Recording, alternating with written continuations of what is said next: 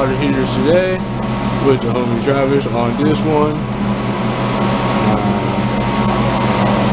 120 gallons a piece, uh, three phase water heaters.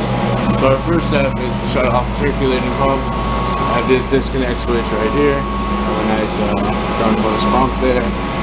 And off it goes. Me.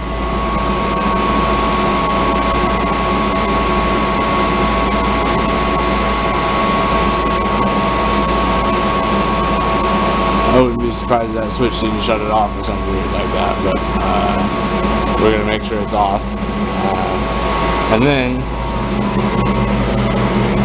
on these ones, uh, we have a disconnect switch on each heater. I think that just interrupts the control voltage from the contactor. I'm not sure, but that, that makes sense. I don't think they have three phases switch on that. Maybe. Um, we'll look at that. And then we'll start draining all the nasty sediment out of it and replacing some of these bad parts.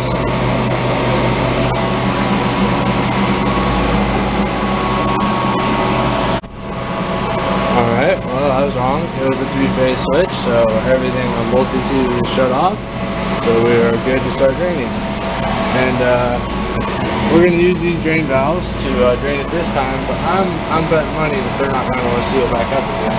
So I came up with a solution for that last night already. So we'll, uh, we'll have a look at that. So we'll get draining here. Alright, we got these things draining still. Uh, big 100, 200, you know, 140 gallons, 120 gallons a piece, you know, little 3 8 drain valve, 3 8 orifice in there. Anyways, so we're replacing them with these full port valves so we don't have to deal with this next time. Nice little uh, hose bib adapter on the end there, all shiny, ready to go. Um, yeah, so it's just taking some time. Um, I started this, so I got them cracked loose here and draining it as fast as possible. Um, I did get my union installed up here on the pump. Repack that. Nice. Nice. And uh, that should be good. And we're gonna put uh, that guy right in there. That'll be looking a lot more, a lot more disassemblable. This whole thing will be able to be taken apart. And then uh, I got my B tank ready to roll here. And then just that little half inch isolation valve. So unfortunately, bring down the whole hot water system. That's going over here. And this other, the sink uh, just on the back side of this wall. So uh, we're waiting. Look at our uh, condenser water circulating pumps here. Got a VFD for each drive. Have a Belimo solenoid valves that close when there's no the unit's not heating or cooling, uh, and then the pumps can start to slow down. They uh, look at the pump differential pressure. One for each pump. I don't really see why, but they're all teed together but uh, looking at the differential pressure and determining uh, how fast the pumps seem to be running. Uh, that one's not working right now, but I guarantee you it's, it's, running, it's turning very slowly right now. Probably only 20 hertz or something. And nice little range here. Oh yeah.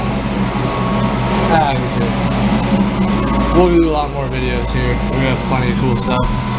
But, uh, big 40, 480 volt two big pumps. Thing. Backload, that's but that's tied in before our isolation valve shuts off this, so one inch isolation valve right here would be handy. Someday we can shut the building water off. And then we did get our T&P replaced already. Nice little MIP unit on there. Yeehaw. So we'll let it drain and we'll get after this. Alrighty then. Pressure full isolation valve, T&P valve, drain valves, everything tightened back up, no leakies. Yeah, had a little trouble with that one. No problems. Doesn't not look, but uh, nice and professional. And uh, look at that beautiful Everything tightened back up. No leakies. Time to go home.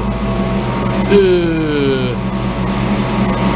Nah, Mr. Howard was not proud of his participation in this one, apparently.